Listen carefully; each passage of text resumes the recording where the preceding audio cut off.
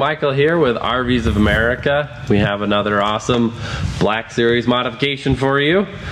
Um, we're gonna go in and show you what we originally have in right now a customer in HQ19 we're doing a swap on the fans that are inside the bathroom and the shower. And you can do this modification on any caravan. They all have the fans in there so you can swap them out to create more ventilation.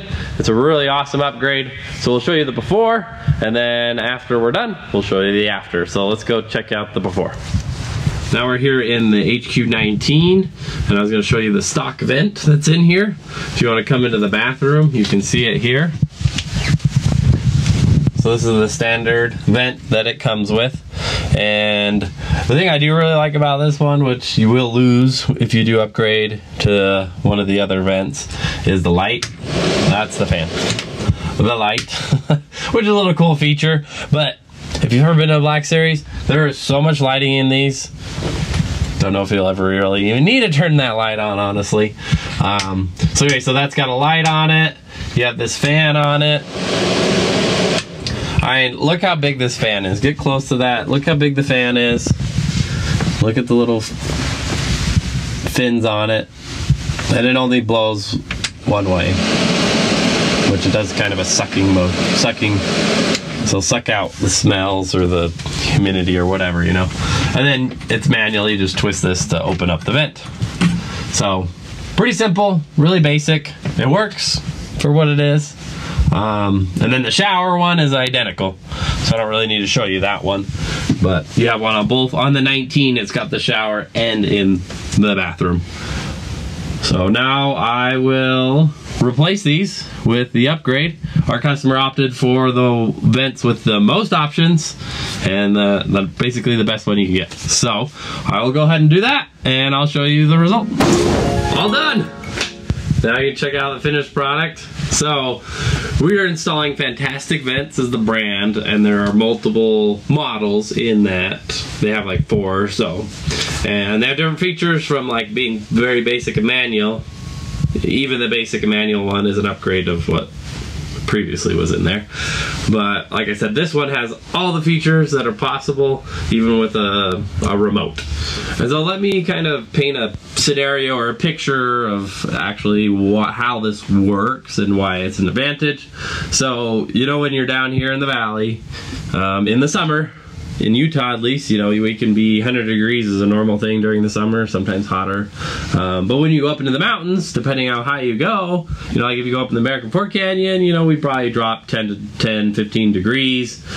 And if you go up in the high Uintas, you can drop 20 to 30 degrees. So there's a big difference.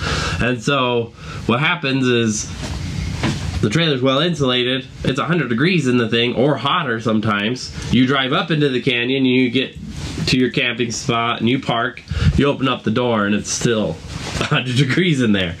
And so you want to get that cleared out real fast. Um, the idea is to go off grid so you're not going to be pumping on the air conditioner unless you take a generator. So it's just windows and ventilation. And so when we upgrade this ventilation, you can get the trailer cooled down a lot faster.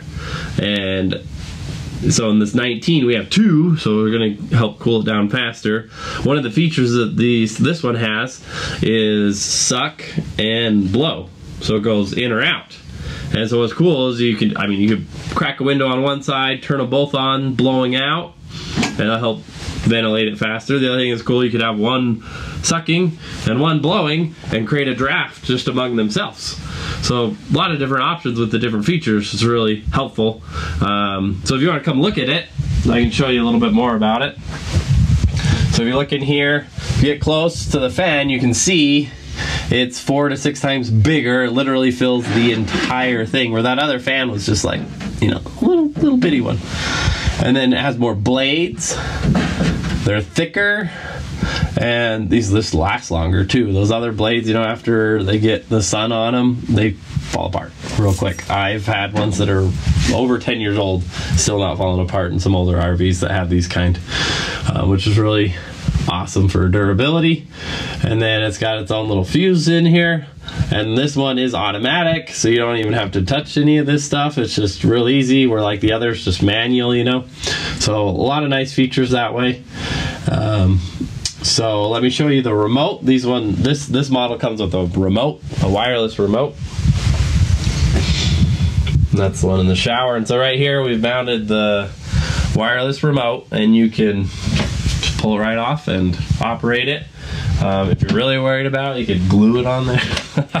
but you do need to kind of point at it. So now here on the remote, the cool feature on this is does have an auto feature. So back to our scenario, you know, if it's 100 degrees down here and I go up into the canyon, I could turn on my auto and set it what I want it to be at. So like 75 degrees would be a nice temperature to be inside here or 70 or so.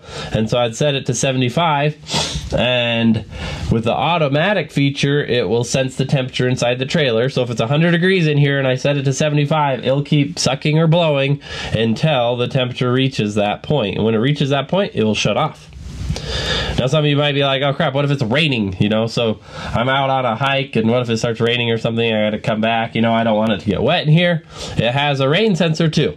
So if it rains, it'll sense the rain hitting that and it will close. So that's another awesome feature there. And, and, and, again, you know, you're out on a hike or whatever, and it gets warmer in the day or cooler or, or whatever the aspect. When it gets to that temperature, it will shut. So, you know, if you're out on an evening hike, you know, it's really warm in the day and it was, you know, cooling it off, but then you don't want it to get cold in here either. It's going to shut off and close because it's to reach that temperature. So the automatic feature is really nice um, for setting that temperature. And then you can manually control it so you can just set the speed to be the fastest or the slowest. So you can even goes down to like a 10%, so like a really slow little fan. So the other one in the standard, like I said, is very, it's basic. It has one speed, on and off, and it's high speed. Um, on this, there's um, around 13 different speeds. So a lot of control, which is nice. We like to be able to control our things the way we want to. So I'm going to turn it on just so you can see that. Um, and if you have, if you install both, if you hold the remote in the middle of the room, you'll turn them both on. And then if you want them separate, you just have to hold it close to the sensor. But that's only if you have both of them. If you have only one, you don't have to worry about that. So I can turn one on here. Right now I'm set on manual, so just going to the highest speed.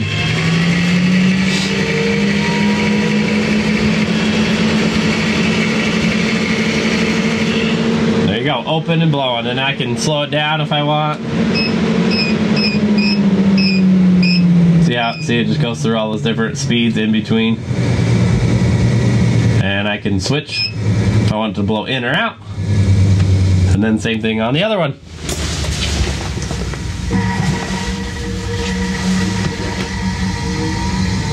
There. Now it's pulling the air in instead of pushing it out, which is really awesome to be able to reverse that. It makes a huge difference because I don't always want to be blowing out the air. Sometimes I want the cold air to come in. I don't know if you can hear it or not. It is a lot quieter than that smaller fan, which seems kind of silly that the smaller fan is louder than the large fan. But it is a huge difference in sound even at the high speed.